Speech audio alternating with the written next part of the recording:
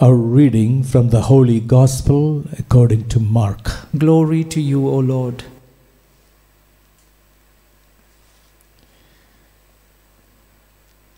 Chapter 8, verses 22 to 26. When they arrived at Bethsaida, they brought to him a blind man and begged him to touch him. He took the blind man by the hand and led him outside the village. Putting spittle on his eyes, he laid his hands on him and asked, Do you see anything? Looking up, he replied, I see people looking like trees and walking. Then he laid his hands on his eyes a second time, and he saw clearly. His sight was restored, and he could see everything distinctly. Then he sent him home and said, Do not even go into the village. The Gospel of the Lord. Praise to you, Lord Jesus Christ. My dear sisters and brothers, the healing of the blind man in Bethsaida reveals to us the need of a continuous conversion, a constant opening of our hearts to God to understand the infinite wisdom of the mercy and power of God.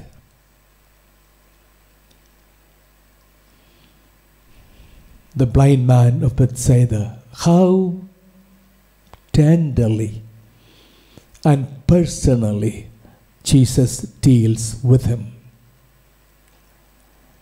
The Lord takes him to a private place by himself, applies spittle on his eyes.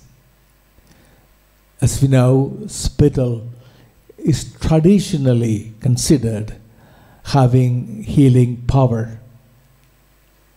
When a finger is cut or burned, instinctively we put it in our mouth.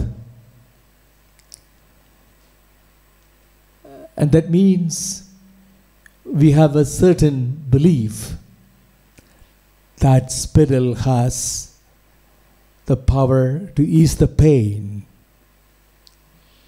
The first thing Jesus did was to touch the eyes of this person with spittle and asked him, How much do you see? The blind man was able to see, but not much. People walking, that's all, but not distinctively. But then Jesus touched his eyes and prayed again. The man was able to see clearly.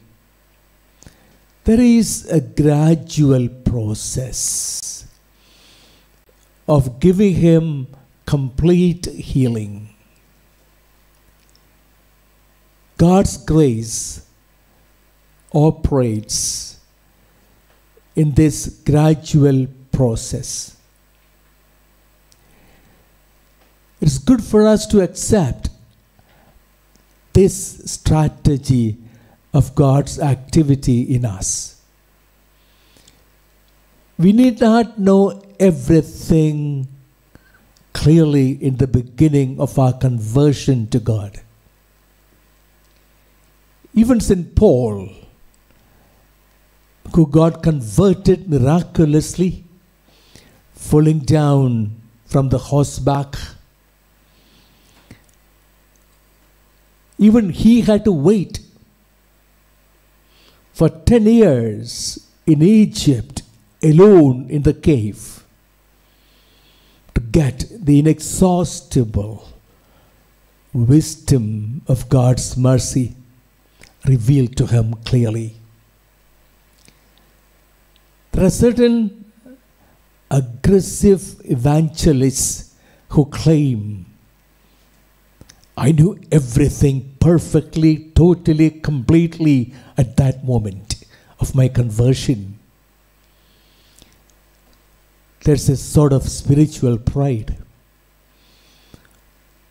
Of course, there is an euphoria of coming to know the wisdom and mercy of God at the moment of conversion. But God's wisdom and mercy are inexhaustible. Even from our part as human beings, we need to become very humble in our daily life situations. We would need a gradual, continuous conversion in every circumstance of our life, in every decision we make, in every words we speak, in everything that we do, in every relationship that we enter into.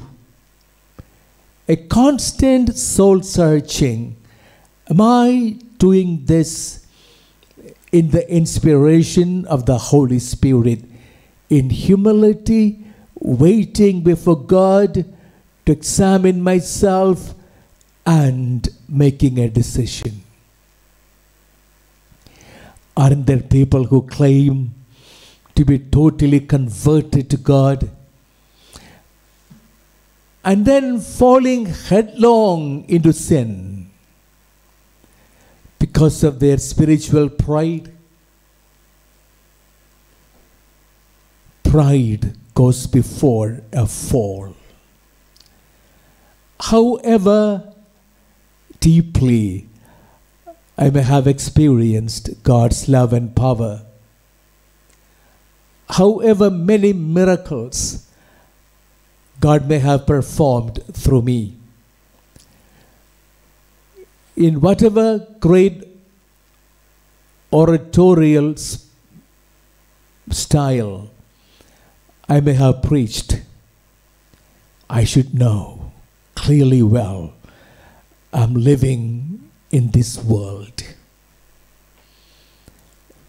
And there's a flesh that lives with me.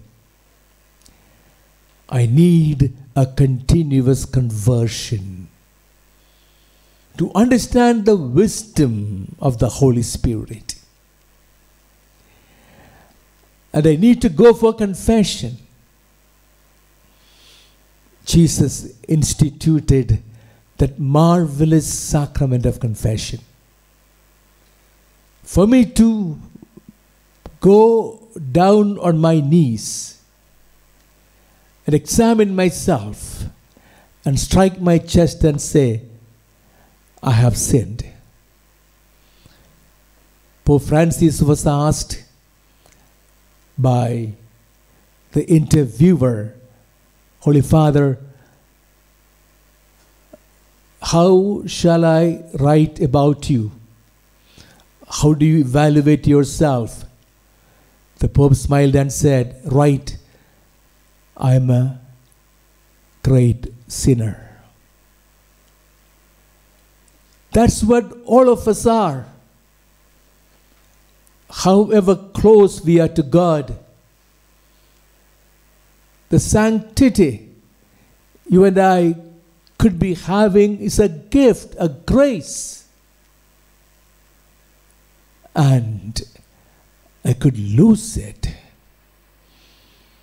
as St. Paul said, that sanctity is given to me in an earthen vessel. This earthen vessel, the moment I'm careless, could slip and fall and break. I could lose the content of it. And therefore, St. Paul said, Work out your salvation in fear and trembling. Fear of God. Fear of God is not a stifling fear. No, no. Fear of God is a great caution. I exercise always. I should never offend my God because I love Him. He loves me. How much He loves me, I know this. I don't want to say a word, I don't want to do a thing against that love. This caution I should exercise. I should not take God for granted. I should not take my sanctity for granted. I should grow. St. Teresa of Avila tells us very clearly it is a swimming against the current, the current of the world will always push me backward. I need to be swimming, swimming, as St. Paul said, straining forward always, so that I experience God's mercy continuously in my heart. Amen.